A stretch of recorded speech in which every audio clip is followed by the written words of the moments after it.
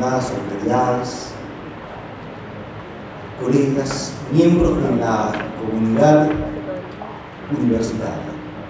Es eh, francamente un privilegio, un privilegio poder eh, dirigirme a todos los presentes en esta instancia tan importante para nosotros, que es eh, nuestro trigésimo aniversario. Son 30 años de Universidad de Tarapacá. 30 años que hemos ido construyendo con esfuerzo, con esmero, con dedicación. Y el marco que tenemos hoy es un marco, creo, maravilloso, con muchísimas personas aquí presentes, con muchísimas personas, con un invitado de una calidad intelectual que ustedes van a poder eh, comprobar por sí mismos en un rato más. Don Barata es una de las personas más brillantes del medio académico nacional, gran rector de la Universidad Federico Santa María, y va a estar con nosotros compartiendo una presentación que esperamos sea realmente estimulante, como sin duda va a ser, porque además es un gran expositor, nuestro invitado del día de hoy. Así que vamos a tener ahí una, un broche de oro para nuestra actividad.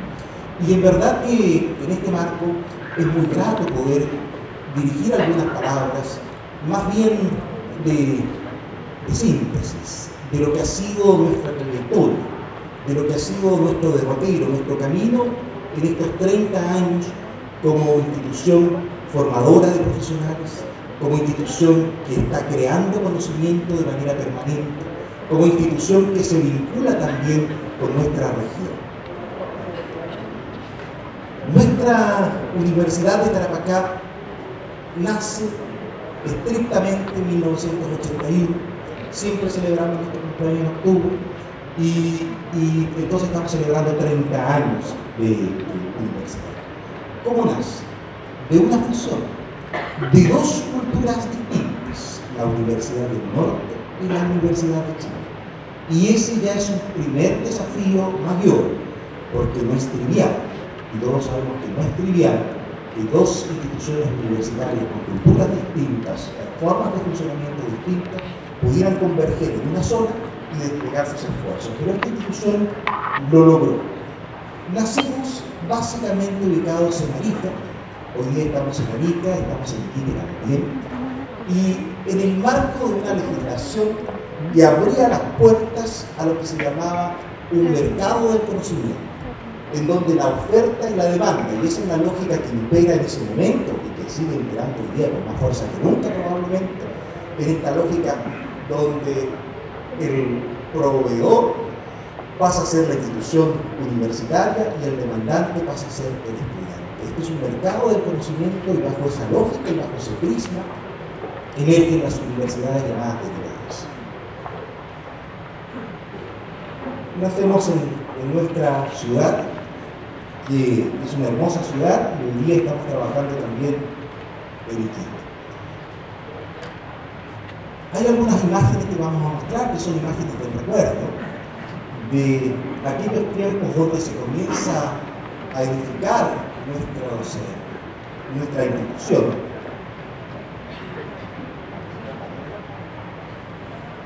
Con nuestros colegas, un poco más jóvenes algunos, son algunos años atrás los que están ahí. Don Mario sigue.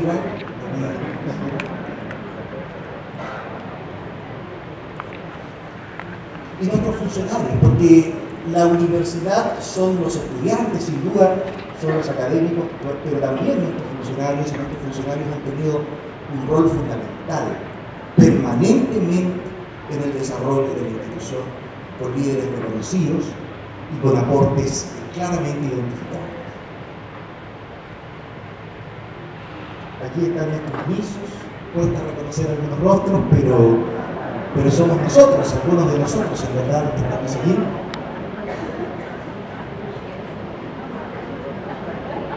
Cuesta realmente reconocer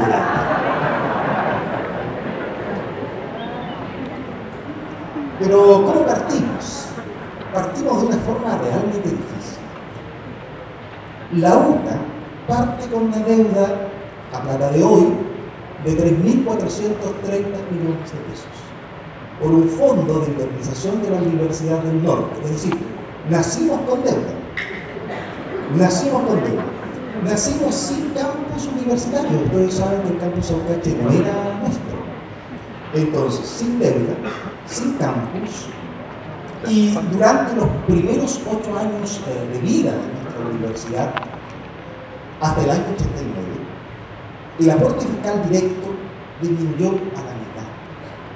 A la mitad. Es decir, endeudado sin campus y con aporte a la mitad. Así nacimos. Eh, yo siempre digo que las universidades del Estado, regionales del Estado, nacieron muriendo y crecieron decreciendo. Y esto es cierto y para nosotros fue particularmente cierto porque el FIUM subía todos los años porque estaba en el Pero todo esto, todo esto, hoy día forma parte de la historia. Porque hemos superado cada uno de estos temas. El FIUM está reducido básicamente a cero técnico. Nuestros campos son nuestros. Y, aunque el aporte fiscal no es generoso, nosotros tenemos un rendimiento académico, económico superior al promedio. ¿Dónde estamos hoy día? Hoy día estamos con 33 mil millones de pesos de patrimonio. Lo que parte con patrimonio negativo prácticamente porque los campos están incomodados, no hay edificios. Hoy día tenemos 33 mil millones de patrimonio. Como referencia, la Universidad de Santiago de Chile tiene 40 mil. Importante esa referencia porque estamos muy cerca de la, de la somos, sin duda, una de las universidades más solventes de Chile, de las más solventes país.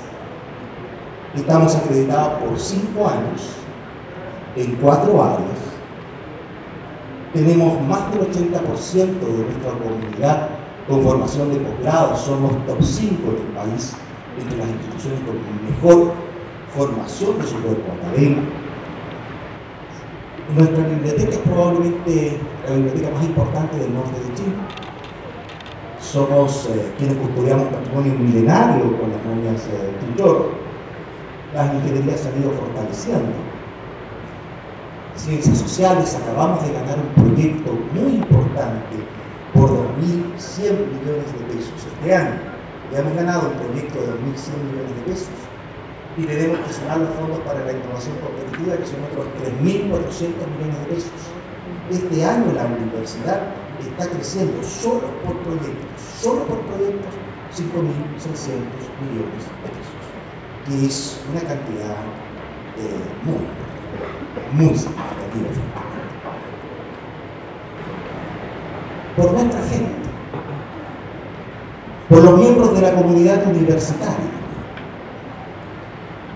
porque son las personas las que hacen la universidad. Y podemos ir cambiando en el tiempo. Antes tal vez con menos peso, en fin.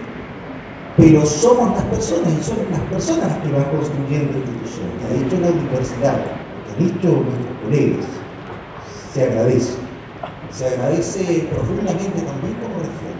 Y eso no significa que no tengamos desafíos. Y no significa que no falte, porque de verdad falta mucho por hacer todavía en vinculación con la región. Pero que se han hecho cosas, se han hecho, y que mucha gente ha dejado toda una vida en la institución sin duda que es cierto. Algunos siguen igual también, se. Y los jóvenes. Los jóvenes que yo creo que tienen libertad absoluta de expresión, y eso es válido los jóvenes van construyendo futuro y van construyendo mundo, y eso también es válido. Y la inmensa mayoría, pero no tengamos ninguna duda, que la inmensa mayoría de nuestros estudiantes lo que quiere es un futuro mejor y construir un futuro mejor. Y algunos también lo quieren hacer, pero con formas que a lo mejor no son compatibles con la institucionalidad presente. Sin embargo, nosotros no debemos perder de vista que nuestra institución se debe a la sociedad, se debe a sus estudiantes, se debe a los jóvenes. Podemos tener diferencias puntuales, pero al final del día, nuestro esfuerzo, el despliegue de nuestro esfuerzo, tiene que ir también con ese sentido de dirección. Pero ahí está el profesor ¿no? Y los jóvenes también están en la rodeando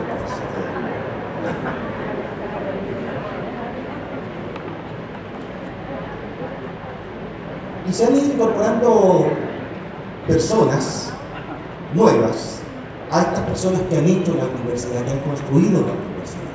Hoy día hemos querido hacer un acto de 30 años distinto.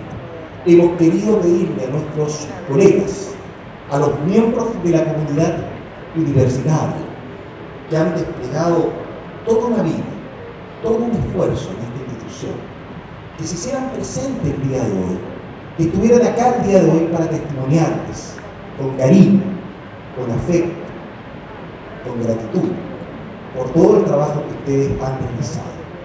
Porque es sobre la base de ese trabajo, es sobre la base de ese trabajo que hemos ido construyendo esta universidad que está progresando, que sigue progresando a pesar de los pesares. En fin, hay áreas de nuevas, ¿cierto? Hay gente joven que se está sumando a la institución con profesor Ponce, el profesor eh, Díaz Gamboa, que siguen siendo pilares eh, tradicionales de nuestra institución ya hace incluso más de 30 años. Eh, estamos aquí con la gente, estamos aquí con las personas, decía cada año, pero ahí surgió la idea de los eh, programas de profesores en su tiempo, en fin, eh, que permitieron sustentar la institución. Hoy día hay otros requerimientos, hay otras exigencias, es otra la forma de enfrentar los problemas. Y hemos tenido entonces una política gubernamental y yo lo digo con muchísima claridad, es la más privatizadora desde el año 90 a la fecha.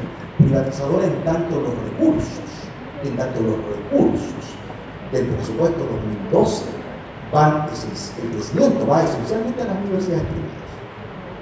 Esencialmente a las universidades privadas.